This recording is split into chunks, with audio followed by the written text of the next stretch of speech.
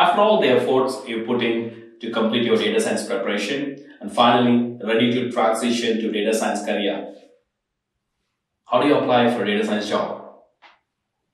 My name is Ashok Veda. In this video, I would like to share a few tips and a few few few few techniques um, in applying for data science job. Well, if, if you look at it, most people are either you are a beginner, a junior, or you are a senior executive or professional working for more than 10, 15 years. Applying for a new job is always a challenge. So I'm going to give you four steps to, to make things a little easier. First is what kind of data science job you're looking at.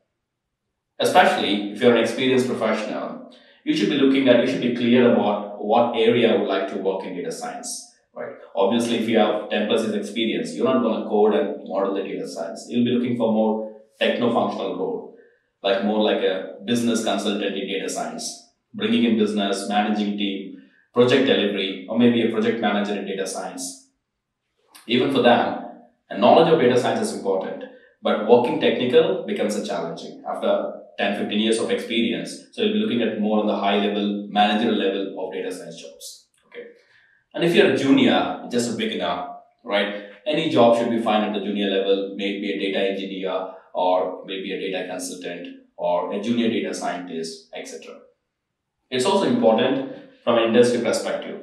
If you're joining a companies like assist IT service providers like Accenture and Infosys, etc., they'll be looking for uh, uh, employees or, other resources. We have various different skills all right because they have all kinds of uh, clients from very different industries on the other side if you're looking for uh, if you're joining a company like jp morgan chase which is a bank so they'll be looking for a very specific skills which are relevant for the domain if you're joining in healthcare they'll be looking for certain skills especially deep learning and, and, and related areas because that's very helpful or very useful in their uh, healthcare and if you join those kind of companies, you'll be specializing. I mean, over a period of time, you become masters of that domain.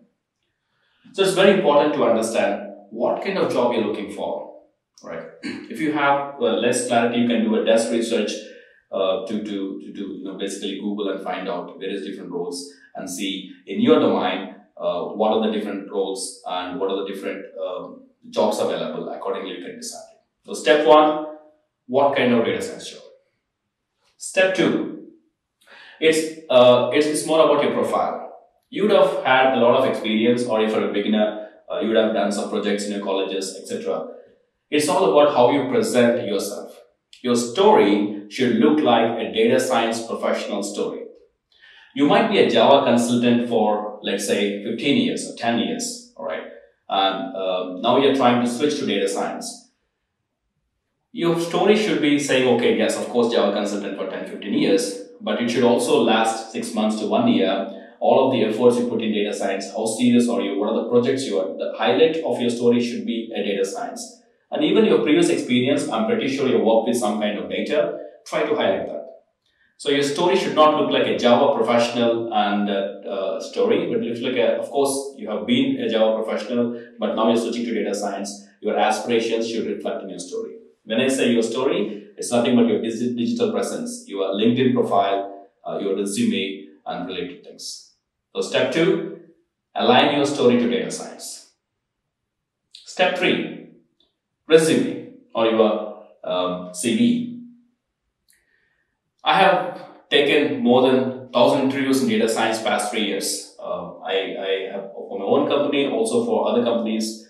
Um, I can tell you that resume is, is really, really important. And one of the major uh, issue I see in resume is 90% of things are irrelevant to data science. All right.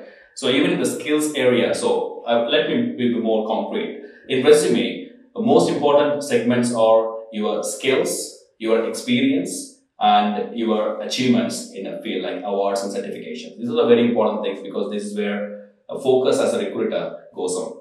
Uh, other things are okay, like your hobbies and your other details, but uh, skills, experience are very important? The skills section should reflect 80% of data science related skills, even though you have been spending a lot of many years in other domain. Now you are trying to pursue a career in data science. So your skill section to reflect data science career. Okay. And even more important, uh, you look at the job description of which job you're applying for. So obviously, when you're preparing your resume, one of the common uh, common suggestions I give normally: do not make a generic resume and shoot it for hundred different job opportunities because a generic resume will never go through. You have to fine tune your resume according to the job description of the job you're applying.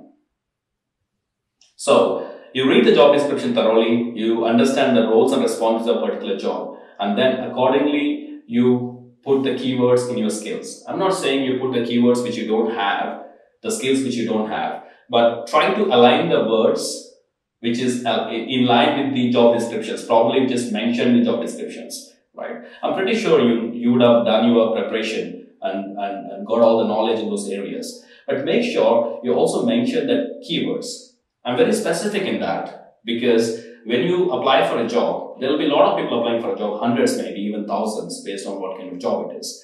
And it finally comes down to, um, you know, a, a automated uh, softwares which looks at the keyword density. It will see what are the keywords mentioned in the skills area of the job description, and it matches the keywords which is in your resume. All right.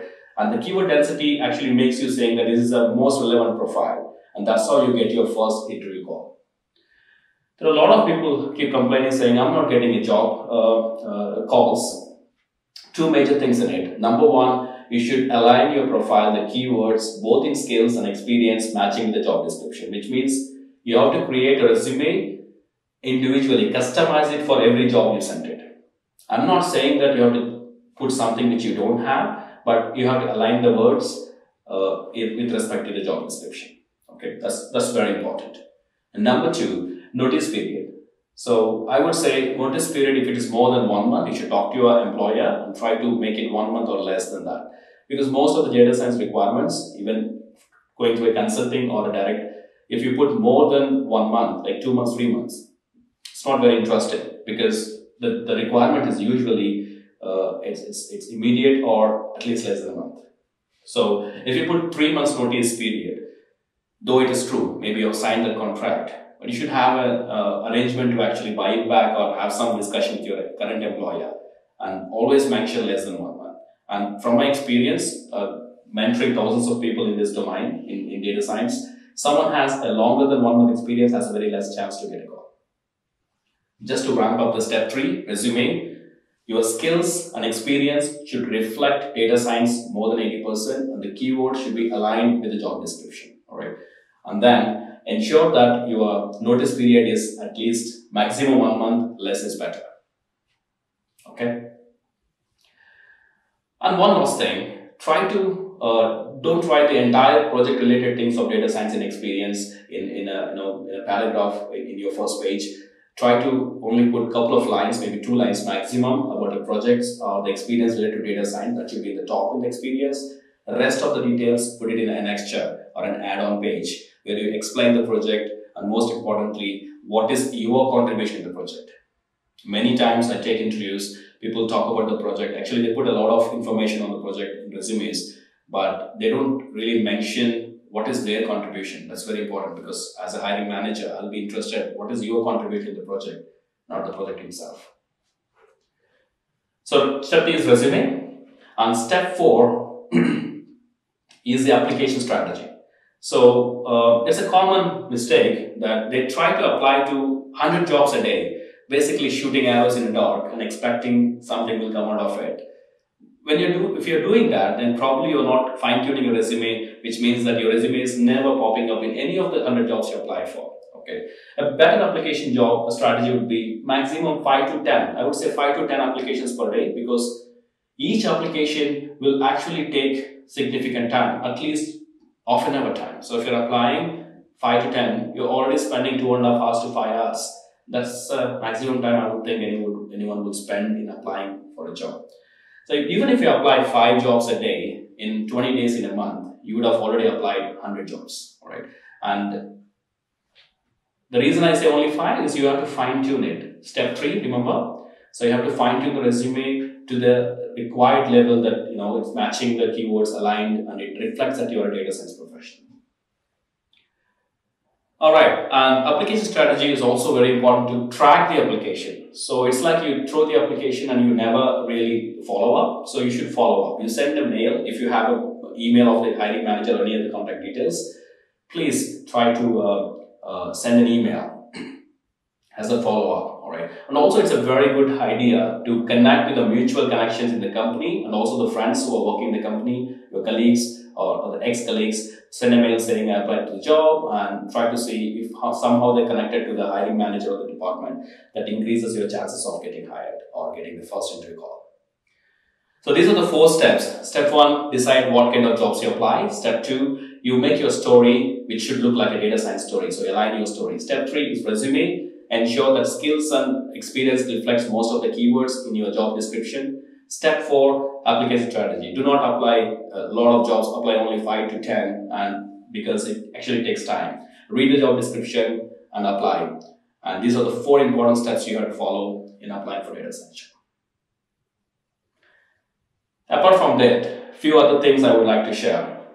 I often see that uh, many people get dejected. Uh, you know, if you fail in the first interview, that's very common. I mean, how many of you get job in first interview? So failing in, in interviews is really, really common.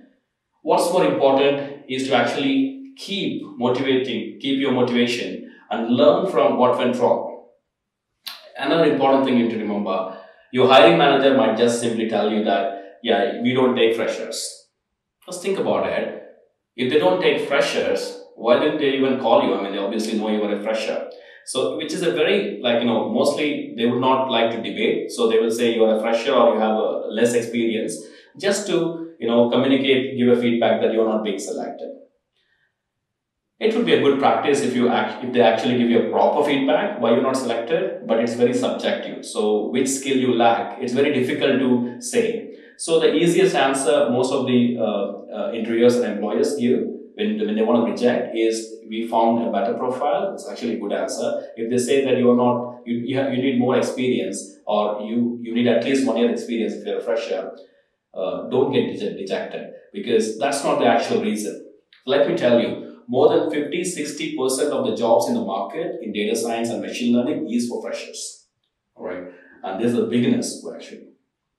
So the idea, the myth of you need to have at least one year, two years experience to get into data science job is actually wrong, right? And probably someone who is telling that is just giving an excuse to themselves to save their face, or if it's a HR or someone is telling it, they don't have an idea, or maybe they're just giving a false reason for your rejection.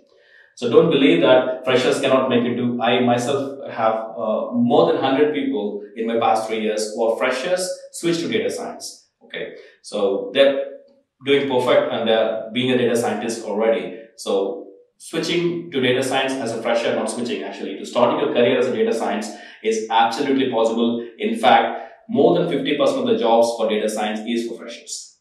Okay. For experienced people, there's a common dilemma saying that, uh, you know, if you go to a data science job, you're switching a new domain, you'll be perceived as fresher. It's completely wrong. Your 10, 15 years of experience still counts because data science is an extra skill you're adding. And whatever experience you have, both the business, soft skills, management skills, everything counts. So simply put, your experience counts. And also it's more important to ensure that you don't have to come down in your salary levels. You can keep up your salary levels. You can have a hike when you switch to data science. So don't believe that, you know, if you're, if you're coming to data science, you're completely switching your career to something else. No, that's not correct. You are actually moving up in your career ladder. Okay. Few more things, um, small things. Uh, is you have, you have to really keep, keep yourself motivated. Uh, it usually takes two to three months. The people who actually successfully finally make it um, are the people who keep on learning. Every step you, you, you fail or you don't get a call or you just look at the reason for it and try to improve on it. Okay. And I'm pretty sure, I'm, very confident in, in, um, uh, in, in, in, in, proper effort and, you know, proper learning, you'll definitely to data science. The good news is we have millions, in fact, 58 million new jobs being created in another two years in data science and machine learning and AI.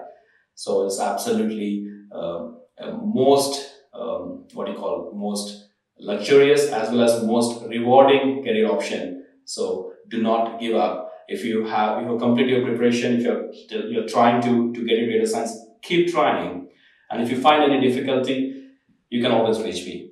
So I keep my, I leave my contact details, especially, uh, you know, uh, when you, when you have uh, attended the interview and you want to reflect on that, I'll be more than happy to work with you and, you know, basically make that uh, experience learning experience.